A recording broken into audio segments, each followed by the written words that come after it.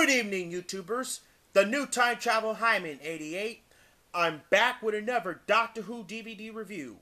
And yes, we still celebrating Doctor Who's 50th anniversary.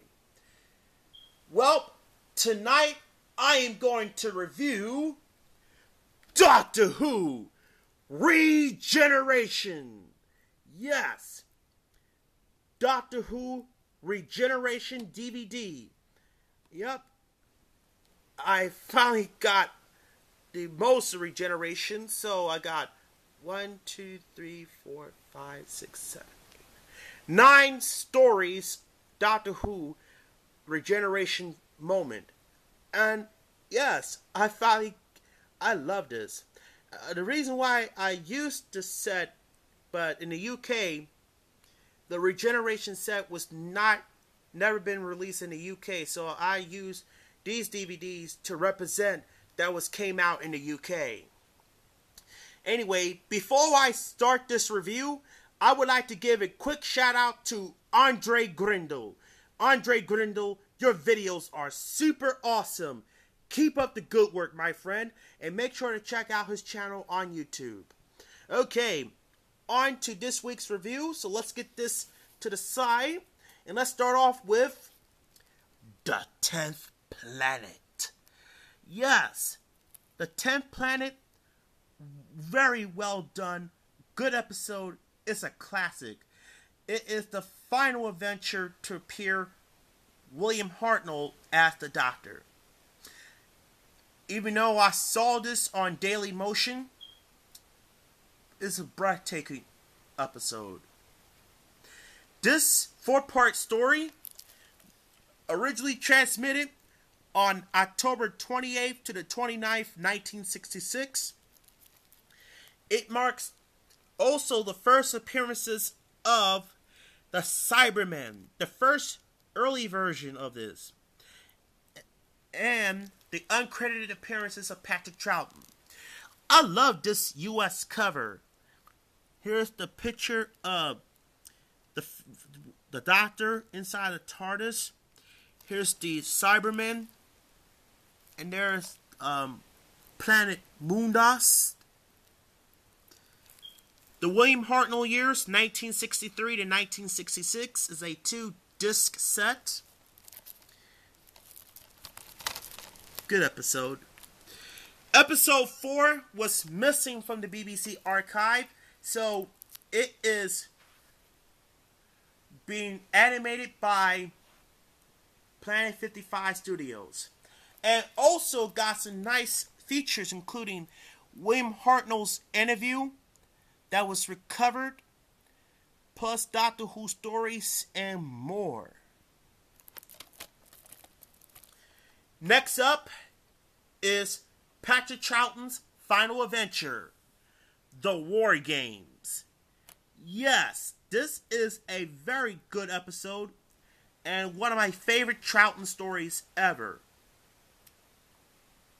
And sadly to see Pat, the second Doctor, Jamie, and Zoe go.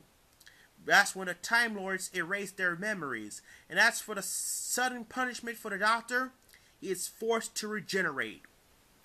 This 10 part adventure originally broadcast on April 19th to June 21st, 1969. Nice little features, still pictures. Now here's disc 1, parts 1 to 5. Disc 2, parts 6, 7, 8, 9, and 10. And bonus feature on disc 3. Disc. Yep. Yep, that's the War Games. Moving on to the next regeneration story from Jon Pertwee Planet of the Spiders. Yes, Planet of the Spiders, a good episode, is one of the best Pertwee stories ever of season 11. And I love this cover. And here's the third Doctor with the blue jewel. Here is um, Sarah Jane Smith with the spider possessed, and that's the Spider Queen. And that's Metebelis 3. The Jon Pertwee years 1970 to 1974, also a two DVD set.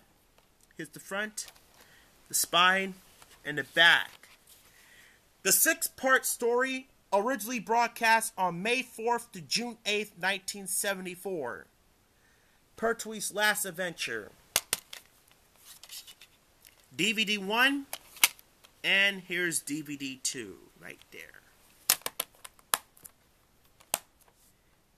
On to the next story, the Tom Baker, his final adventure, Logopolis. Wow. Logopolis is a very good story. It's not a bad story. I disagree the other users saying, but Logopolis one of the remain the classic Tom Baker stories ever. And one of my favorite scenes saying is the end, but the moment began to prepare for. This four part story, originally transmitted on February 28th to March 21st, 1981. And this story marks the first appearances of Janet Fielding as Tegan Jovanka. And Sarah Sutton reprised the role of Nyssa in the story, and Anthony Ainley that was appeared at the end of The Keeper of Traken. You should buy this episode. Good episode. I highly recommend it. Next adventure is Peter Davison's last story, The Caves of Androzani, Special Edition. Yes, The Caves of Androzani. This is one of the favorite voted by sci-fi fans. This is the episode I saw it when I was five years old back in 1993. I remember this good episode. Anyway, it's a two disc set. The four part adventure, originally transmitted on March 8th, 9th, 15th, and 16th, 1984, and it marks the first appearances of Colin Baker as the second Doctor. I mean, the sixth Doctor. Sorry. Colin Baker, the sixth Doctor. Here's disc one and disc two. I did not get a chance to get the original release, but I'm glad I got this release. Alright, next story Time and the Rani. Yup, this is a very good Sylvester McCoy story, and I really love this episode. And marks the return of evil Rani. Mm-hmm. This four part story, The Time in Arani, originally broadcast on September 7th to the 28th, 1987. Here's the feature. And here's the disc for. Yes, the disc for Time in Arani. Next story Doctor Who the movie special edition. This is a very good story, and I really love it. And see the regeneration of the seventh Doctor to the eighth Doctor. Awesome adventure. This story, originally broadcast on May 14th, 1996, it's a two disc set. Let's take a look. Here's disc one and disc two. Disc. Yep. Next up is from selected first season Bad Wolf and Parting of the Ways. Let's take a look. That's on the fourth disc of Series 1.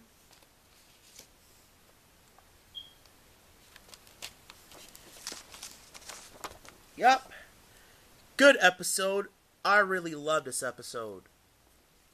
Marks the final time for Christopher Eccleston. He left after one season. due to production problems. Yep. Next up, and finally, is The End of Time Parts 1 and 2. Brilliant story. And I love this episode. It's David Tennant's swan song. Yep. I love this episode. And one of my favorite is the master, John Sims. He leaks all everything. He's hungry. Up. It's the spine and the back. Mm-hmm. Okay, here's disc one and disc two. Okay. Let's let me line them up so you can guys see. Okay, let's okay, let's line them up. All right. Okay, that's it for my Doctor Who regeneration set. Alright, if you guys like to rate, comment, and subscribe, please do so. And make sure to give this video a thumbs up. Thanks for watching. Take care.